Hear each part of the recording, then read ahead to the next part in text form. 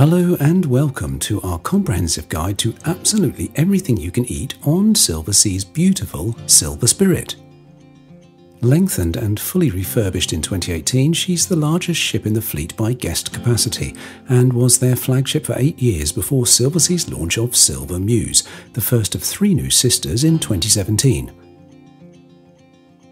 Silver Spirit has eight dining venues, an extensive in suite dining menu, and the wonderful snack coffee bar, the Arts Cafe. In this guide, we will visit each in turn to give you a sample of what they offer and our opinion on which one are our favourites. So, in rough order of size, here's the full 10 dining options you can enjoy on this utterly gorgeous vessel. Let's begin.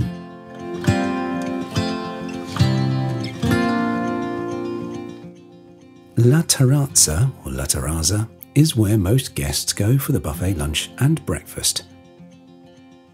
Located at the aft of the ship, it is aptly named after the lovely outside seating area attached to the main restaurant, with wonderful wake views to enjoy whilst savouring an alfresco meal. Breakfast here is a lavish affair. The buffet selection includes typical hot breakfast foods, pastries and breads, cold meats and cheeses, cereals and yogurts, and the best selection of fruit and berries we've ever seen on a cruise ship. There are also fresh egg breakfasts, waffles, pancakes, and French toast to order through the table waiter who will ensure your fruit juice, tea, or coffee is constantly topped up and refreshed.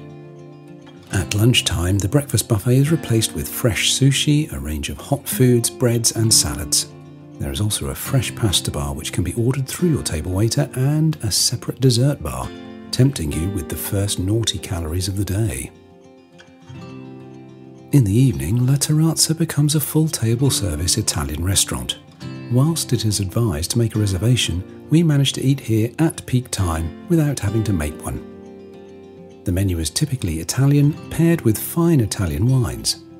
Upon arrival, we were offered a glass of Prosecco and a tapas plate to share, along with a basket of Italian breads, featuring the most amazing focaccia. For starters, we decided to share a delicious caprese salad in order to leave room for the obligatory pasta dish, featuring typical Italian accompaniments such as a hearty tagliatelle ragu and silky vibrant linguine pesto. Entree dishes include veal Milanese, pan-seared tuna and fresh sea bass, all accompanied by a rather wonderful Chianti Classico or Sangiovese Bianco. Then to top it all off in true Italian style, the desserts in La Terrazza reflect what the Italians do best. Atlantide is classed as one of the two main restaurants on board and as such is one of the largest. There is no need to make a reservation. Atlantide can accommodate differing sized tables and we never saw a queue. The venue is very modern traditional in decor and style, offering classic steak and seafood dishes. There's also a number of vegetarian options.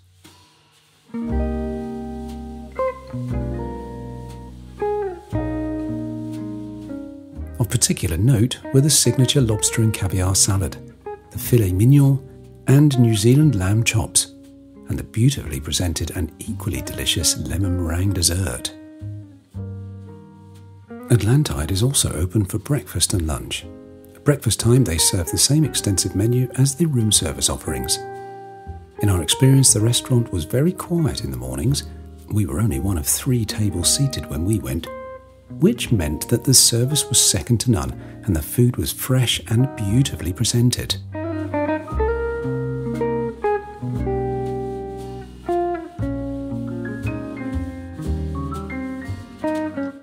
Indochine is the other of the two main restaurants, being of equal size to Atlantide and also not requiring reservation.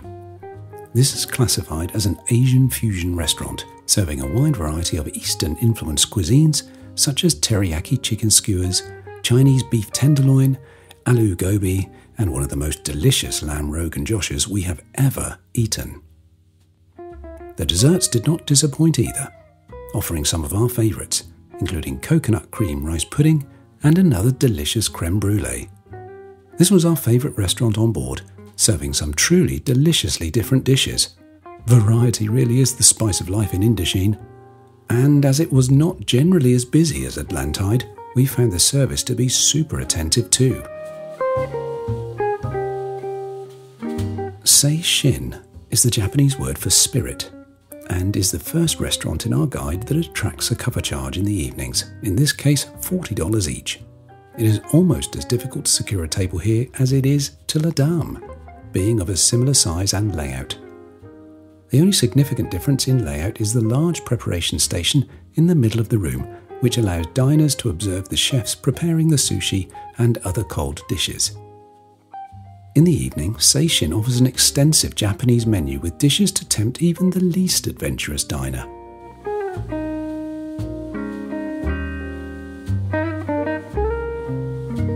Upon arrival for dinner, guests are greeted with a delicious sake cocktail served in the most amazing octopus shaped glasses.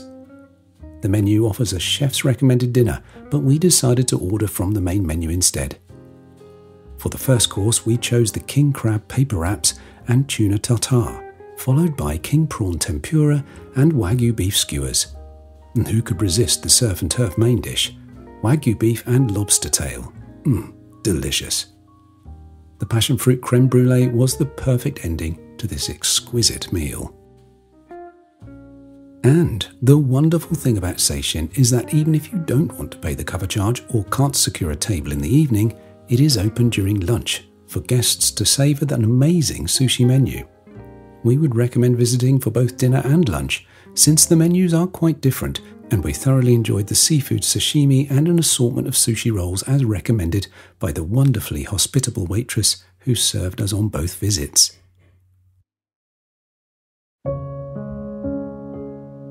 La Dame is the second of the two restaurants attracting a cover charge on Silver Spirit, in this case $60 per person. It is an intimate dining venue with only around 20 covers, mostly set out as tables for two, serving fine dining French cuisine. Of all the restaurants on board, this is the one with the loftiest reputation and consequently the hardest to get into, and generally requires a reservation to be made quite a while prior to boarding the ship, using the online reservation system. In fact, we would recommend that if you want to eat here, you should make a reservation as soon as you book the cruise to ensure you get a table. As would be expected on such a delightful setting, the service is impeccable. Upon arrival, you are greeted like long standing patrons visiting their favourite restaurant, with a glass of perfectly chilled champagne and a very warm welcome. The food is as amazing as the service, with the starters such as caviar, foie gras, veal sweetbreads, and coquille Saint Jacques, and each course prepared with premium wines specific to La Dame. The soup course offerings include dishes such as bouillabaisse, lobster bisque, and mushroom velouté, which is followed by a sour lemon sorbet to cleanse the palate. The entree course offers a choice of either meat or fish, including duck à l'orange, beef fillet, braised beef, lamb steaks, lobster tail, turbot, dover sole, or sea bass. Hmm, it is fair to say that the braised beef dish I chose was one of the tastiest dishes I have ever eaten. There won't be much room left for desserts, but you simply can't resist them. On offer was a cheese platter, a chocolate mousse with strawberries, a fruit platter, or a Grand Marnier souffle. The souffle being the only slight disappointment to an otherwise delicious meal. Yes, we were expecting the souffle to be as high as a house. La Dame is the perfect venue if you are celebrating a special occasion on board, and let's face it, just being on board a Silversea ship deserves to be celebrated in itself.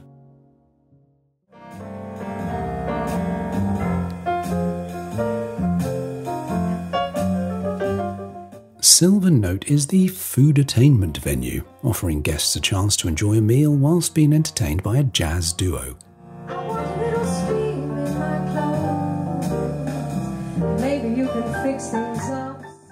This is a small restaurant accommodating 30 to 40 guests on tables placed around a small dance floor.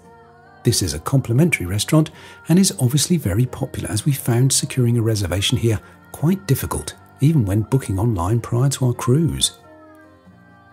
The menu is promoted as tapas in style and definitely wins an award for being as unusual and avant garde as the jazz itself, offering dishes such as marinated octopus, beef crudo, and tuna with quinoa. The menu is divided into earth and ocean selections, both raw and cooked.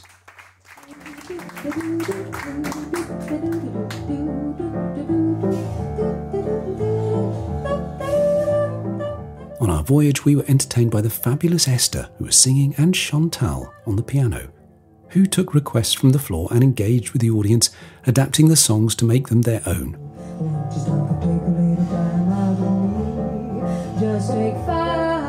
The imaginative food and the playful music fit together like a two piece jigsaw. In Silver Note, one would simply not be complete without the other. Although it may take some effort to secure a table here, we would recommend doing so. It is so very different to all the other restaurants on board and deserves at least one visit per voyage.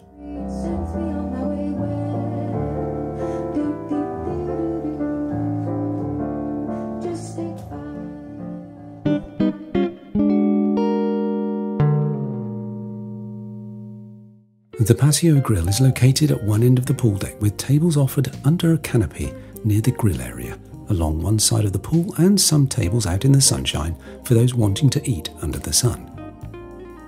It opens every lunchtime at midday and stays open into the middle of the afternoon, so is perfect for those later returns after spending some time ashore or on an excursion.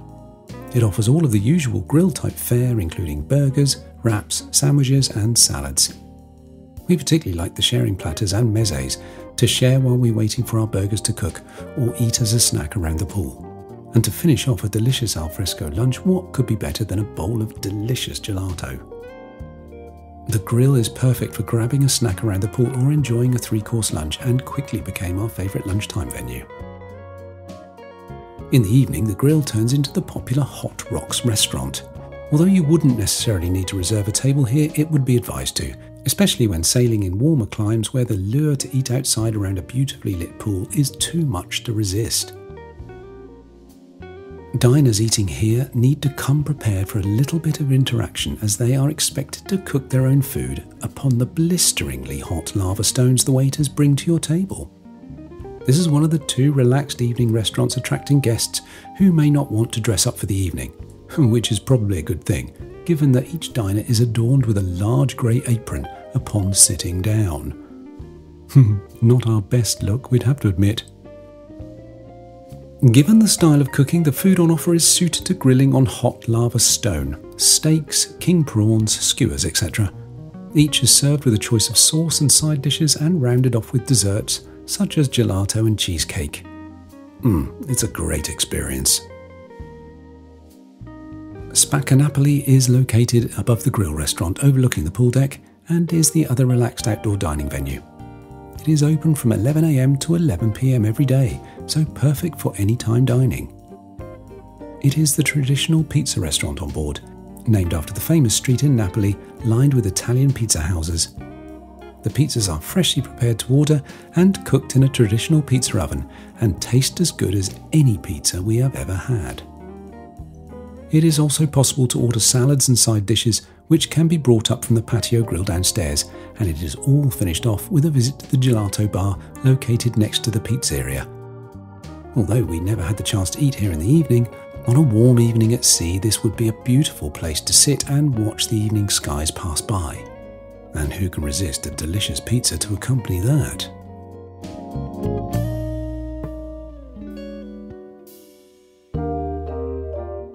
We could not leave this dining guide without mentioning the marvellous Arts Cafe. Although this technically is not a restaurant, this is the go to place for delicious snacks and treats throughout the day and was largely responsible for our weight gain whilst on board. The Arts Cafe offers a relaxing place to sit, be it indoors or outside, wonderful coffee, and delicious snacks. It all starts at breakfast time with an array of pastries, fruits, and yogurts, or breakfast paninis as well as fruit juices and smoothies.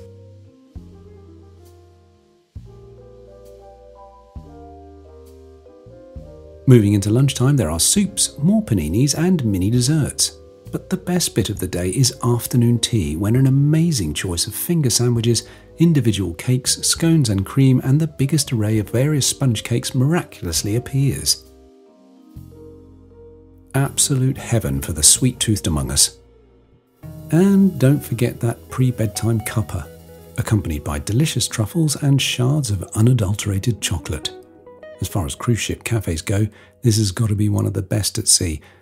We just wish we could replicate it just down the road from our house, hmm, but our bathroom scales probably wouldn't thank us.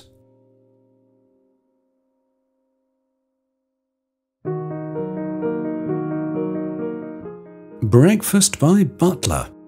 That should be a cheesy tagline, but believe us, you have to have breakfast in your suite at least once. There are some things on the in suite menu that aren't available in the La Terrazza and buffet restaurant, including some unusual and very tasty dishes, such as breakfast couscous and equally delicious savoury souffles. However, the most outstanding Silversea breakfast dish has to be the Belgian waffles, also available in the Terrazza and Atlantide, which tasted as close to the waffles we've sampled in Bruges as any we've ever eaten. In suite dining is available throughout the day and offers the usual room service dishes such as burgers, sandwiches, and pizzas, but also offers guests the chance to enjoy a full three course dinner in their suite. Great if you've had a busy day and just feel like relaxing in your room. This includes some rather lovely little dishes aptly named tongue twisters, which were equally as good and tasty as little appetizers or daytime snacks, as well as a good selection of first courses. Followed by this is a varied selection of soups and pasta dishes before the main offerings, including a variety of steak and fish dishes served with a choice of sides. To finish off is a small selection of desserts, ice creams, and cheeses. Ordering is simple, but do make sure you are specific about timings of each course when placing your order if you would like to eat it course by course. What a wonderful way to spend an evening! Eating a delicious three course meal, accompanied by a bottle of champagne, whilst watching a movie in the privacy of your own spacious suite. Perfect!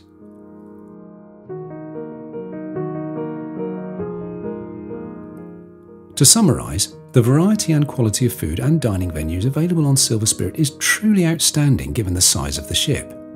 Even though we were on a 10 day voyage, we struggled to visit every venue, and there were definitely some we would have liked to have had the chance to revisit. Oh well, I suppose we'll just have to sail on her again. Thank you for watching. We hope you press the like button, followed by the subscribe button, followed by one of these videos we think you'll enjoy that explore the Silver Spirit further. Thank you.